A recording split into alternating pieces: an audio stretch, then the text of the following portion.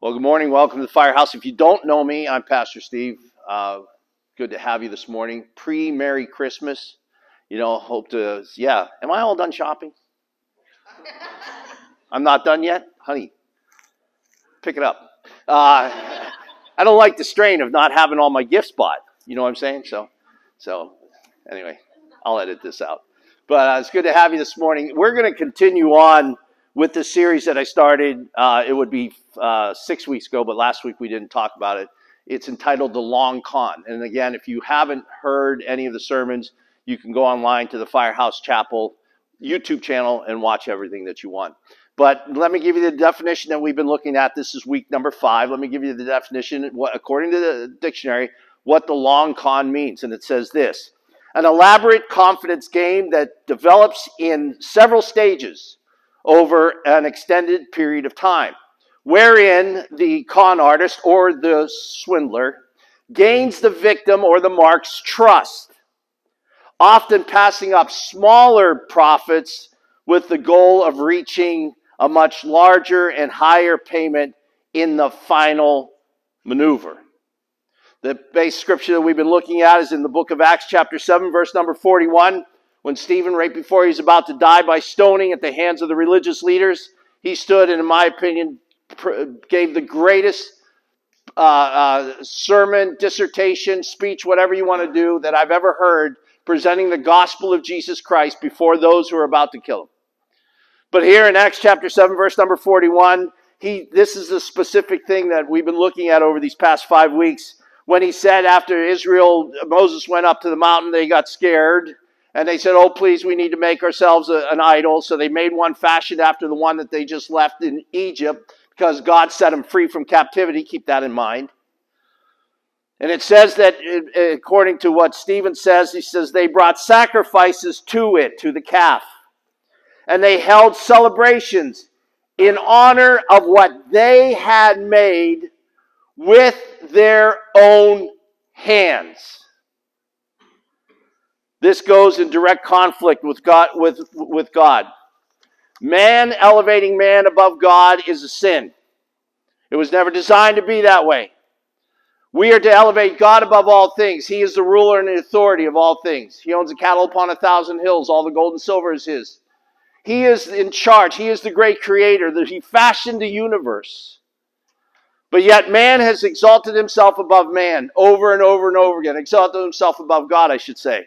We left off in 2 Timothy chapter 3, verses 1 through 5. I won't read it, but you can look it up if you know it's 2 Timothy chapter 3, verses 1 through 5. And here, as the Apostle Paul is talking to young Timothy about being in ministry in his church that he's pastoring, he very emphatically, but yet passionately, I believe, Paul said to Timothy, In the last days, perilous times shall come. Men will become lovers of themselves. Verse 5, then he lists a bunch of things, but then in verse 5, he says, lovers of pleasure more than lovers of God. Paul, in my opinion, is prophetic in this statement that he makes to Timothy. Timothy has taken it as great advice, and so he should. But Paul is also very prophetic because if, I, if you were just handed this today written on a piece of paper, you would swear that somebody spoke it today rather than 2,000 years ago. Because as Paul so prophetically says, in the last days, men will become lovers of themselves. All you want is you. You don't need anybody else. You don't need anything else. And for sure, you don't need a higher power called God to surrender your life to because you have it all together. And it also says they'll be lovers of pleasure more than lovers of God. And folks, that is just filling the hearts of Americans today. And I believe with all my heart the American church is going to stand, uh, stand in judgment for how we have taken something so precious, so wonderful as the as the opportunity to know the gospel of Jesus Christ and have the ability to freely worship according to our Constitution and our Bill of Rights, that we have this freedom, but yet we are ignoring it. We are treating it like toilet paper. And we're treating it like something that we should, no big deal. And we're becoming more self centered and self pleasing and self attitude than ever before. And, being 66 years old, I've seen a lot of it, and I just see, as Paul states, that man will become so much more loving of themselves, desiring pleasures for themselves. Instead of following after what's written, for example, and I could spend days reading the scriptures that, that pertain to what's wrong with this, but here's one that stood out to me was in Psalm chapter 66, verse number 5, where the psalmist writes this Come see what the Lord has done. His awesome deeds to mankind. I can only speak for myself and experience and in experience of being in ministry and being a Christian for as long as I have been. I have found that the people who held on to their, their salvation with both hands as tight as they could are the ones that realize the price that was paid on Calvary. When we realize that the God of heaven sent his only begotten Son to die and suffer a brutal death. I don't want to get ahead of myself because, you know, Easter's coming. Do you realize how brutal the crucifixion of Jesus Christ was? Watch the Passion of Christ. He depicts it really well. Do you know why it had to be that brutal? Because the wages of sin is death. The sacrifice had to equal the brutality of what he was being sacrificed for. When you get that in your heart, instead of up in your peanut, carrying around here like some academia person, when you start to carry this within your heart, I'm going to tell you something. You will hang on to the salvation that God has blessed you with with both hands, forsaking all things. Why? Because of the fact He has done so much. Come see what the Lord has done. Come see. That should be a testimony of every person that's a believer in Jesus Christ. Come in, let, let me tell you what Jesus has done in my life. Instead of saying, hey, let me tell you what I've done for my own life. He says, look at his awesome deeds to mankind. See, we have, and look, we have this mentality. Look at what we have done. Man, uh, let me read this because I don't want to mess it up. Man has transformed man into God instead of allowing God to transform mankind. See, we've made ourselves gods, captains of our own ship, the, the, the uh, head of our own destiny. We have done that. Instead of God transforming our lives, we are transforming our lives to put ourselves above God. I hope this pierces our hearts. I hope this convicts us to the place where we surrender. And that's the only way you're going to truly know God is when you surrender. If you keep just praying a prayer and nothing's happening, I'm going to guarantee something to you. You're not surrendering. You're not giving up. You're not laying it down saying, I've had enough of myself. I've had enough of my dreams, my desires, my plans, my purpose. I've had enough. When you start to say, Lord, here it goes. I'm leaving it at the foot of the cross. When that starts to happen, your prayer time, your prayer life will start to grow. Your faith in Christ will start to grow. Why? Because you're surrendered. See, I believe that this kind of mentality is alive and well for sure in the secular world, but is also in the church, within the church walls. This morning, um, I, I went to pick up Jeff and, and Jake I got to their house a little early. It was about quarter to seven this morning. And so I'm sitting in my truck and I got the radio on and it's dark out, you know. And uh, I, I, I, got Christian radio playing and I'm just listening. I got my, you know, closed my eyes. I like to listen to music sometimes with my eyes closed. That's frowned upon when you're driving. Uh, but I, I, I, find that I can, if I close my eyes, I, I hear better. You know, I can, I hear better and and you young men, married, uh, unmarried, whatever, old man teaching young, if your wife ever says to you, "Honey, we need to talk," don't close your eyes. Trust me. But I, I listening to this song. It's entitled "In the Room." I've heard this song hundreds of times. The, the version I was listening to was from Maverick City Music. Really cool song. If if if I'm in the heaven, if if I'm in the heaven, God is there. If I'm on the earth, God is there. There was a line I kept hearing. I'm like, what, what is she, what, what is she singing? Never heard it before. So I looked it up. And here was the line. I wrote it down. If I make my bed in hell, he's there. No, he's not. No, he's not. You make your bed in hell, your bed's on fire, bud. You are condemned to an eternity without God. There is no way Jesus Christ is going to come visit you in hell. It doesn't happen. But playing on Christian radio by a Christian group, singing Christian songs, there's that one little line in there. Well, if I'm in hell, I'll make my bed in hell, he's there. No! No! Now, there's you know big theological debates. Did Jesus ever go to hell? Did he have to go to hell after he died? I am the you know I don't want to debate with you. I, you can think whatever you want. I think he went there.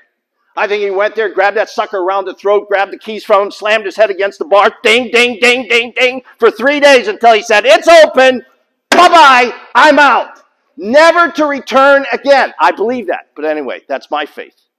But the fact of the matter is, he ain't never going to hell again. So we have it in the church. We have it in the Christian music. We have transgenders getting up on the Dove Awards and, and worshiping God together.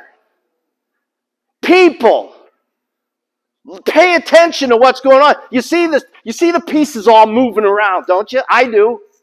Like, ah, you know what? I've given up on this one, but I'm going to move this one now. And now the, the swindler, the, the liar, the great deceiver, He's making moves, and people are just like, that's translated like, I don't care, I'm not paying attention, I'm too stupid, whatever you want to take. See, the long con, the devil empowers man, elevates him above the Lord. We are to, we are to approach God with trembling. Not like, hey, yeah, I'm here. Hey. No, man, you're trembling in your heart. Why? Because He's God. He is the great I am, the Alpha and the Omega, the beginning and the end. He's the one who has started, spoke the, the universe into existence. He's the one that breathes breath into our lungs and gives us life. We just haphazardly go up to him and go, hey, I've said it before when I hear on the Christian radio when churches are advertising their casual worship service. What do you come in your pajamas? Oh, we're just casually going to worship God today. Let's all just casually worship Him. Yay. Where does it say? Book of Revelation, I believe. Isn't it chapter 4 to one of the churches? He said, either be hot or cold, or I will vomit you out of my mouth.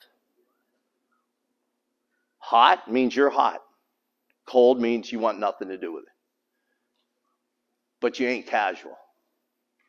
See, the long con is passing up the smaller gains to await a much larger payout, and that payout is today. I see it today happening more and more. I see it. I see people walking away from their faith, compromising their faith for whatever reason.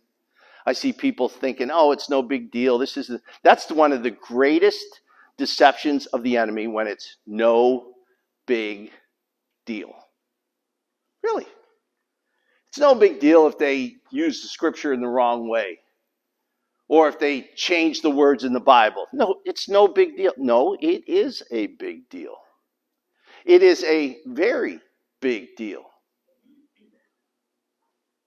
See, the harvest of souls for hell's gain is now, in my opinion, like a bullet train out of control. See, I why we're a rescue station and what we believe is we're here to tell you the truth. To prepare you for an eternity. Where will you spend it? With heaven, in heaven with Jesus and God and his hope and mercy and grace? Or are you standing there awaiting the gates of hell to open to welcome you with open arms? There is a harvest of souls going to hell, and it's going quicker and quicker all the time. Our internet is breeding that. We have false prophets. We have false teachers. We have false prophets. We have false theology. We have experts on TikTok. We have experts on all these other social medias who aren't really experts at all, but everybody takes it like, oh, wow, that really makes sense. What's it making sense to you? What part is it making sense to you when you hear something? Is it making sense to the Spirit of God that you carry inside of us, or is it making sense to your earthly mind that is always constantly combated by this world? Where's it making sense? That's why a few weeks ago I said I worry about academia and the whole academic thing, not only in the secular world, but also in Christian schools and seminaries or whatever. It's all become a mind thing. It's forget about the heart thing. It's all a mind thing. It's all how do I feel? Where it's all about my feelings. It's all about me putting my mind to rest. So you know I I, don't, I can't walk around with that guilt of uh, you know I I ran into somebody who was actually at a funeral. I run into a lot of people at funerals. And then people are always telling me, oh, Pastor, I'm going to come to your church. If every person at a funeral told me they're coming to the church, we'd have all three of these banquet rooms completely full. Funny though, I never see them. See, because after we're done looking at the dead person, everybody goes, that was close, it wasn't me. Everybody's like, yeah, I'll just go back the way I was. I'm all good. Whew, missed that bullet. But I had one person tell me, at least they were honest with me, and I appreciate it. This one guy told me, he says he, he walked away from the Lord. He, he did. He just walked away. Now, some people may say he was never saved. You can say whatever you want. I believe the guy had a relationship with Jesus Christ and he allowed sin to come in his life and decided to walk away. So you can do your theology thing, whatever you want to do, but that's how I see it. You know what he said to me? Ever since I walked away, I don't feel guilt anymore. I don't feel guilt anymore there's a medical condition that's coming to me, not the name, the thought. It's better my thought comes to me than to you. Can you imagine? But anyway, there's a, there's a, a thing where you lose, you don't feel pain. There's a condition where people don't feel pain. They break their finger or break their arm. They don't know they broke their arm because they don't feel pain. Some of you are like, wow, I'm married to one. So, boy, that'd sure be nice if I didn't have to feel it. No, you actually don't feel pain. What's bad is you can be damaged. You, you can damage something in your body and not even know it. When you stop feeling guilt, you're damaging something. And the Bible says to have a worldly guilt is just because you got caught. But to have godly sorrow leads to what? repentance. Lord Jesus, here I am. I'm a sinner. I seek your forgiveness, your hope, your mercy, your grace. I confess my sin to you, therefore, Lord Jesus, please forgive me. I lay it down.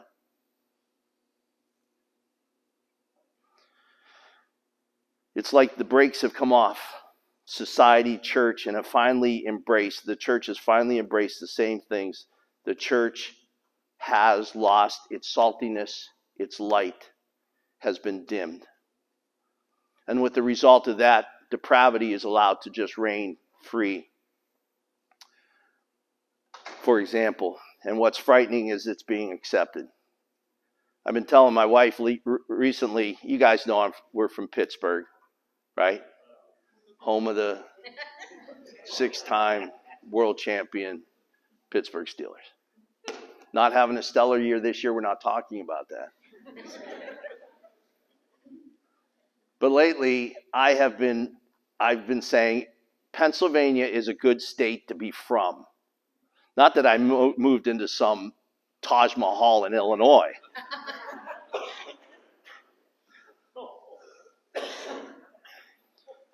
few weeks ago, this happened in Pennsylvania, and then just recently, the other day, it happened in Virginia. But in Pennsylvania, it was a woman who won the school board president of a school district. Did you see this? Her husband, what you normally you put your hand on the Bible, and you swear, you know, you're you just take your oath as a school board president on the Bible. Well, she had her husband, she had her husband hold a stack of explicit sexual books that are trying to be banned from the school because parents held that and she put her hand on those and she took her oath with such smugness, such cockiness, such boldness And people applauded her, her power, her, her, her, her bravery. And then some dipstick the other day, this dude just did the same, put his hand on explicit material and took his oath. Folks, these are our kids in the school. If you think your kid's okay and you don't have to check in on them, you need hit in the head with a brick. Because your kids are under attack. If you think you they're, they're not, go give your kid to an adoption agency. Because these are the people that are guiding the ship of your kid's education. Isn't that hard? Some people are like, I don't see the problem. You know, no, I guess you don't. It's real hard to see the problem when your heart has gone dark.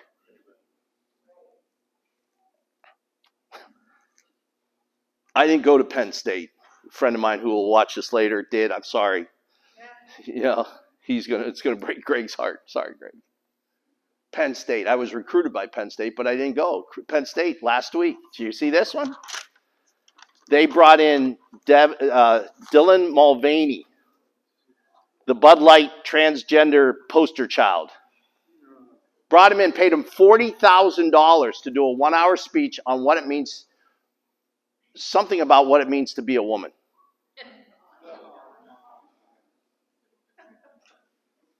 Everybody's like, that was so brave. That was so brave. In fact, you need to pray for that young man. He looked horrible. Like he's about this big around. I'm, I'm being serious. I'm not joking around. Do I believe in what he's doing? No. Do I believe Penn State are a bunch of idiots? Yes. But him as a person and as a soul, he needs prayed for. But it's being accepted. And people are like, what's the big deal? Live and let live. And then you got these educators, these, these presidents of universities.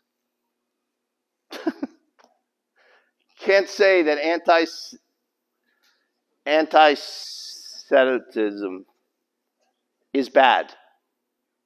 How hard is that? Well, it's hard for me to say that. It's bad. It's evil as it would be to say if you wanted to wipe out all the Arabs or all the blacks or all the Asians or all the all, all the Caucasians or all the Indians. It'd be bad no matter what. But they can't say it. They go blah blah blah blah blah blah blah blah blah blah blah blah blah blah blah. And they can't say it, and yet people are like, oh, this is great. This is great. This is remember I did, I said it a few weeks ago. Our educational system, our world of academia is part of the long con. It is. I've always said about college, I always said I hated college. I hated college because there's a lot of wasted time, a lot of stupid stuff, and there's a better way, in my opinion, to get an education, but people need want money to pro- provide for their universities. I, I, I mean, there's good ways to learn, and there's also stupid ways to learn. Our universities have not only figured out a stupid way to learn, they figured out how to make you pay for it and go in debt and feel guilty. I can't send little Johnny to Harvard. I can't send him to U of I. It's going to cost me $60,000 a year. I can't do it. I'm a terrible parent. I fed him all his life. I clothed him all his life. I took him to the dentist all his life. He got orthodontics done. He got all this. He broke his arm. I paid for that, but I can't pay for college. It's terrible. Colleges have figured that out. It's amazing. It's the long con. And where's God? God is told to stay outside of campus. Don't bring God onto campus. Keep him over there. That's where he's allowed to go. See, one of the reasons, I want to hurry. One of the reasons I believe all this is happening allowed, I've had time to think about this since last week, two weeks ago. Evolution. Evolution. Evolution has been taught, or I should say, has been shoved down the throats of young lives for 70, 80 years. All generations that are represented here this morning have had to answer questions on test saying this is how it happened through evolution.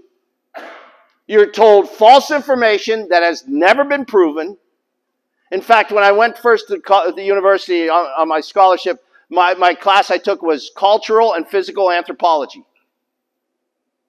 A new Christian, and I questioned everything. And every time I asked a question, I was shut down.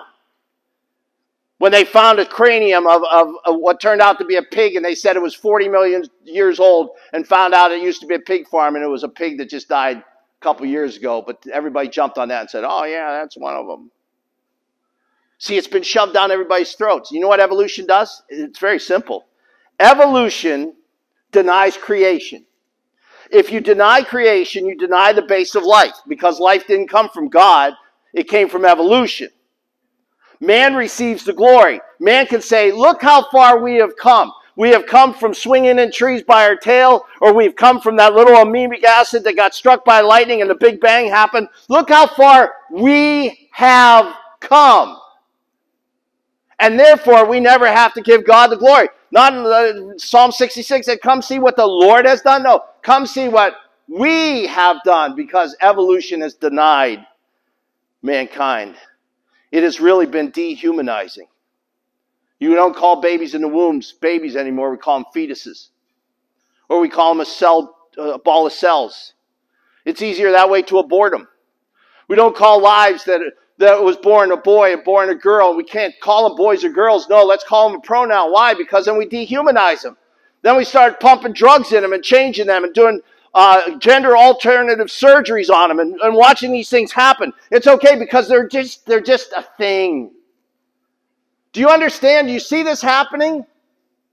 And the church remains silent. The church can't, we can't as a Christian nation, we can't as Christian people remain silent. You got to do something. You got to get close to God. You got to pray. You got to get on your knees. You got to intercede. You got to stand in the gap. Sometimes you got to square your shoulders off.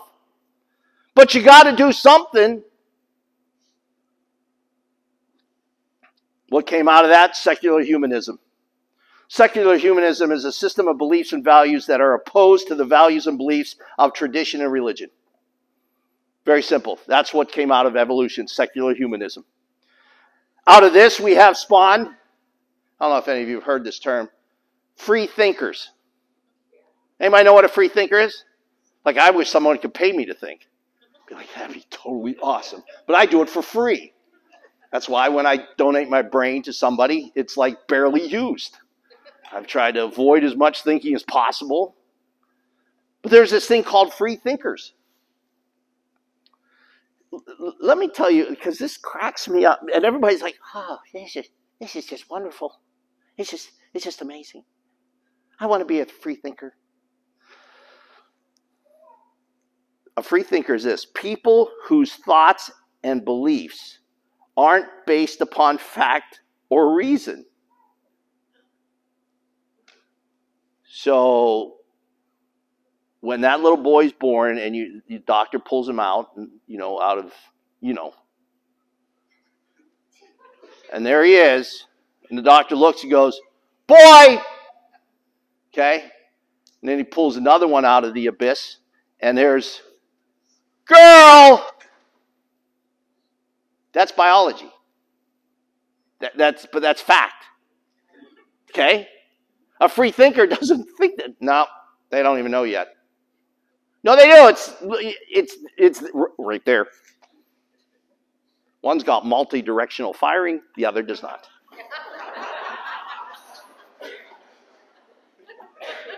How about it? How many of you ever changed a little boy? Always have a wash rag, right? Because those little suckers, they can be hitting the drapes across the room. You never know what's going on. I'm just saying, right, Dave? You know what I'm saying?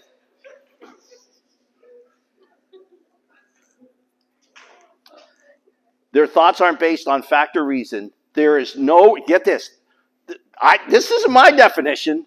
There is no room for religious views, morals, or standards. Let's just get rid of all the morals and standards of religion. Let's just be free thinkers. Free thinking is whatever man thinks is right even with no facts or evidence to base it on. Is that today or what? Whatever man thinks is okay. Whatever man thinks, it's fine. You don't have to worry about it being backed up with any evidence. For example, did any of you hear about the climate su- summit in Dubai last week? The climate summit in Dubai. You know where Dubai is? It's way over there. Now, all these mucky muck climate people got on their jets. One country, I don't want to say which country because I forget which one, it was in Europe, sent three delegates to the. It was, I didn't want to say it. Yeah, is it for sure? It's England. Yeah, I thought it was. Sent three of its representatives to Dubai for the summit. Well, they all couldn't make the same flight, so they took three jets. Three separate jets to go to Dubai. And our little boy, our boy, I'm so proud of him. Good old Johnny. You know, Johnny. John boy. John Kerry, you're the best. You are. No, come on. You're a dork. He flew over there on his own private jet. And there are all these brainiacs or so-called brainiacs that applaud each other. This was when I watched these clips, I was like, this is like the long con played out right in front of us. So I, I, I, I want to hurry. So first of all, what they all decided for us that by 2050 all fossil fuels will be gone. Well, by 2050 I'll be dead. So use me as fuel. I want to have a Viking funeral on the Cal Sag and, you know, flaming arrows and all that. So just don't let the arrow hit the Cal Sag because all of Chicago is going to burn down. But uh, okay, wait, I got to hurry. This one, this one really good. Now, trees, streams, plants, and other veg, uh, vegetation, they are putting together now a Bill of Rights for them. Wait, oh no, this, no, no, I'm glad. I'm glad. And Steve, I'm apologizing to your mom right now because I'm going to use the M word. And she doesn't like me to use it. I'm a moron. I like being a moron because I don't think like this. So here, let me say this. People will become the voices, the advocates for those who can't speak for themselves, like trees. like streams. Oh, some of you are like, no. Okay, here's what happened. One guy had the turban thing around his head. John Kerry's like, they're all like, they start clapping for themselves. And then they all stand up clapping for themselves. They're, they're, my mom used to go talk to trees. My mom would go out in the woods and, oh, Stephen, I talked to the trees this morning. I said, well, mom, what did they have to say? They told me to tell you, Stephen, I like you, but I don't, I love you, but I don't like you. I'm like, that's what the tree said? Yeah, mom. Was it an oak? No, it was a maple. Trees don't talk. Okay, they don't, they don't talk. Streams don't talk. But they want to make a Bill of Rights for streams and for trees and for plants. They don't want you to eat meat anymore. They, they, they only want you to eat a, a, a head of broccoli because you're hurting it. Broccolis are raised in the dirt. They grow up in the dirt. They should have a better life. They shouldn't end up on your plate. They shouldn't end up in your stomach. They shouldn't end up in your digestive juices. They shouldn't end up in your large intestine, going down to your small intestine, mixing itself with other fecal matter that's in there, and finally hit your colon and exits out your rectum. Broccoli should have a better life than that. I don't say that. These dipsticks say this and they're making the rules. And everybody's like, yeah, yeah. Real quick. Yeah, real quick. Here's a few examples of free thinkers Albert Einstein. Albert Einstein was a free thinker. Brilliant, no doubt. His IQ was off the charts. Theory of relativity, theory of, uh, uh, of thermodynamics, all these different theories. Einstein was above his, you know. But he deemed the author of these principles. Here, here, here's the quote. I wrote it down. The word God is for me nothing more than the expression and product of human weakness. The Bible, a collection of honorable, but still primitive, which are nevertheless pretty childish. Who do you think gave Albert Einstein intelligence? God. Man hasn't discovered anything that God doesn't want man to discover. You get that? How did Noah know how to build that ark? I mean, think about it. 120 years he built, a, built that ark. No power saws. No pneumatic nailers.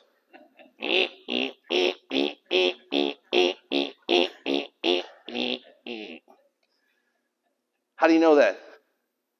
God gave him the intelligence. Another one, Robert Frost. I never met him, he's dead. Robert Frost, great poet, you know, wrote all these beautiful things about nature and about, and he received so many awards. He uh, he received a, a very prestigious award, if I remember correctly, from the U.S. government with some some mucky muck thing that the government gives out to other mucky muck people. But Robert Frost was an atheist. He denounced the Creator, God. And then finally, one last one. This one you probably know Margaret Sanger. Margaret Sanger, the mother of Planned Parenthood back in the 50s, I believe, or 40s, 50s, back that way. See, here's what she did she was a free thinker. Really, what she wanted to do is, and it's, I'm not saying this out of school, this is what she says. She wanted to wipe out the black population. That's what she said. We have to get rid of the colored people. So we will just abort them. And we'll say it's women's health. But she's a free thinker. So here's how it works she denied the existence of life at conception so that they could get rid of these things. And by denying the existence of life at creation, you therefore deny existence of life, period, because life begins at conception. But we've allowed it, we've allowed it to turn a different way, and that's why our children today feel like they're w- worthless.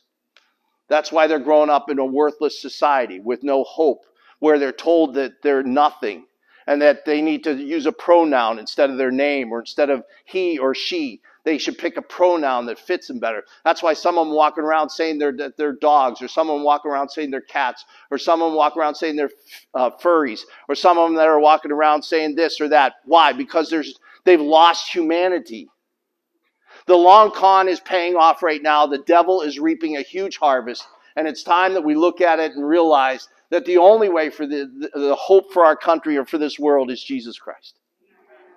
That's the only way. That's the only way. What Stephen said in, in Acts thousands of years ago is so true today. They came to celebrate look what we have done, look what we have made with our own hands. Capiche? Let's pray. Lord Jesus, I pray, Father, for your hand upon every life here, those at home that might watch this. I pray, God, that you would move and touch our lives and draw us near. Father, there's a lot of deception, there's a lot of blindness, there's a lot of hardened hearts, there's a lot of veils that cover our souls. I pray, Lord Jesus, that that would be all ripped away. I pray for those that once knew you who have walked away. I pray, God, that they come back. I pray, Father, for hope and for salvation to come and be received. With your heads bowed for just a moment, we do this every week. We give people the opportunity to pray and begin their journey in walking with Jesus Christ. And if you would like to pray with me, I'm going to ask you in a moment just to look at me. And once I make eye contact with you, you can close your eyes. But I want to pray for you afterwards, David's going to be up here, Mark's going to be up here. They got some information for you. They'd like to give it to you.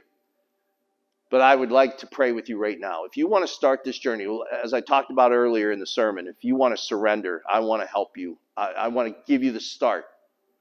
On my right, if you want to pray that with me today, look at me right now. I'm, All you got to see is your eyes. Sure. Got them. Any others? My left. Sure. Got them. Cool. Pray this from your heart. Lord Jesus, I come to you today and I surrender my life. I ask that you come in. Forgive me. Change me. Wash me and make me clean. I accept you in my heart today. Thank you for coming in. In Jesus' name I pray and ask. Amen.